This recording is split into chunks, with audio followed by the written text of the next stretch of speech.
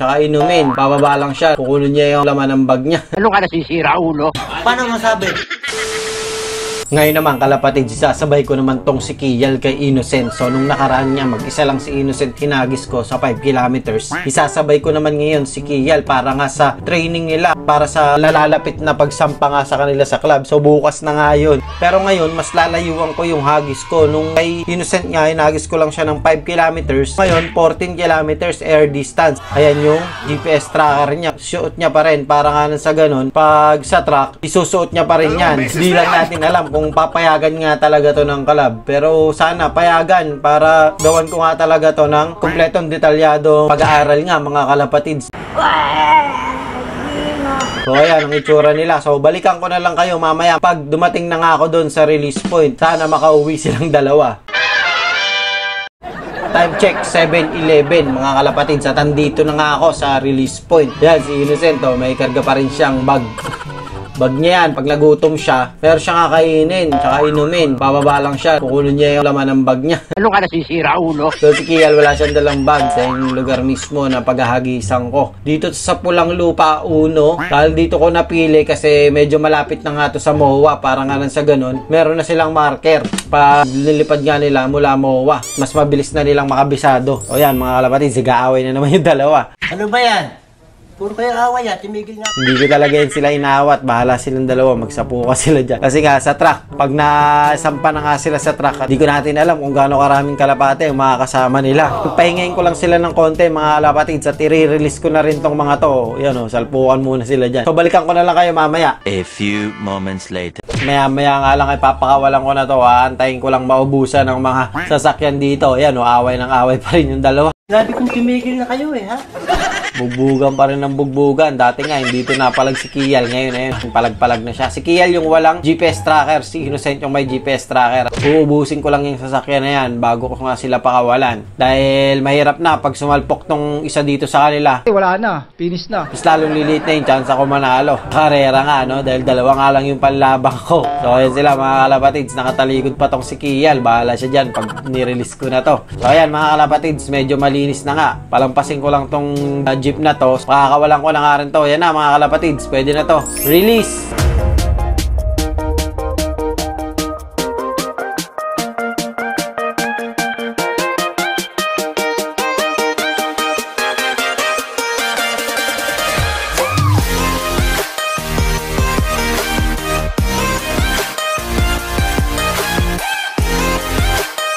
Later. Yun, nandito na ako sa bahay. Time check, 7.46. At wala pa nga rin yung dalawa, katulad na inaasahan ko. Ayan. So, ilang minuto na rin silang lumilipad. Halos na-release ko sila ng mga 7.20. Mga 20 to 30 minutes na rin sila nalipad, mga kalapatids. Wala pa nga rin sila dito. O, wala pang bakas. Tignan natin dito sa taas ko. Nandito na nga ba sila? Dahil yung GPS tracker pala ay low bat, hindi ko pa na-charge. Gunggong! Barinig kita sa mukha eh! Kamungguan ko. Abang-abang tuloy ako dito, mano-mano. Kung nasaan na nga sila. Pero okay lang yun. Ang mahalaga, suot niya yung GPS tracker niya at papractice niya nga na dalin nyo ng dalin para nga sa karera mismo, dun sa track, ay masanay na siya. Huwag ka na nangatwiran, ha?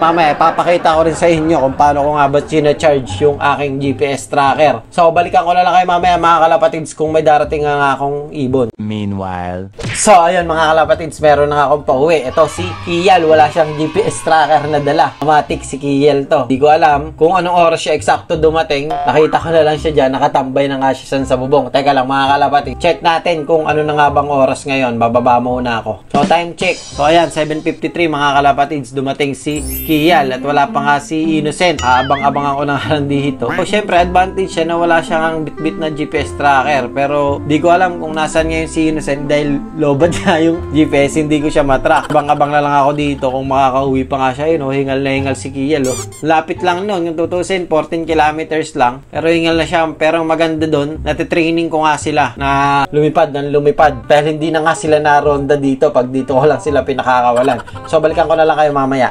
Eventually.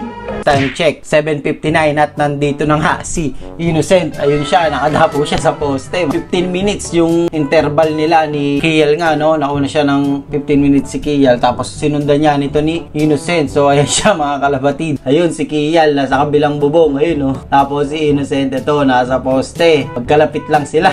Sobrang lapit lang ng pagitan nila. Yun na natin kung papasok nga ba tong mga to. Pero di ko na sila tato. Ayun, no? Lumapit na si Innocent kay Kial, eh, yung dalawa. Kaya ko na lang silang pumasok since hindi pa naman to karera. Pagka dumadating nga sila, hinahayaan ko lang sila muna kung papasok sila. Pero pag tumutungtong sila sa landing board, din eh, pinapapasok ko sila kasi parang madalas nga silang ganyan. Pagkakauwi, yan, tatambay muna talaga sila dyan. So hindi ko na lang sila pinipilit na pumasok. Pero nung bata pa tong mga to, sanay na sanay ito on time talaga lahat ng way kung paano ko nga sila mapapapasok ng mabilis ay ginagawa ko talaga yon pero ngayon nga yan madalas silang tumatambay dyan. So balikan ko na lang kayo mamaya. Ate, mga katanungan nyo, no comment na po ako dyan. time check 8.30 na nga. Hindi pa rin sila napasok ngayon. Anong oras na? 30 minutes na rin sila dyan. Hinahayaan ko na nga lang sila dyan. Bahala na sila kung papasok sila o hindi. Kasi nga hindi pa naman talaga oras ng kain nila. Pero ito si Innocent dapat pumapasok na to. Kasi nga meron siyang itlog dito sa loob. Hindi ko alam kung bakit hindi pa siya napasok. Pero kung papapasokin ko siguro to at papakita ko sa kanya si Aba doon siguro naman papasok to. Ay nahayaan ko muna sila dyan magmuni-muni ni Kiel. Baka gusto pa kasi nilang kabisaduhin yung lugar o mas nag enjoy pa sila sa labas. Yan o kamot-kamot lang sila oh. so ayan mga kalapatid ang dalawa kong batang sundalo na panglaban. So sa susunod nga na training nila sa club naman unang training nila sa club. Papakita ko naman sa inyo ngayon kung paano ko nga ba charge yung aking GPS tracker Sana all.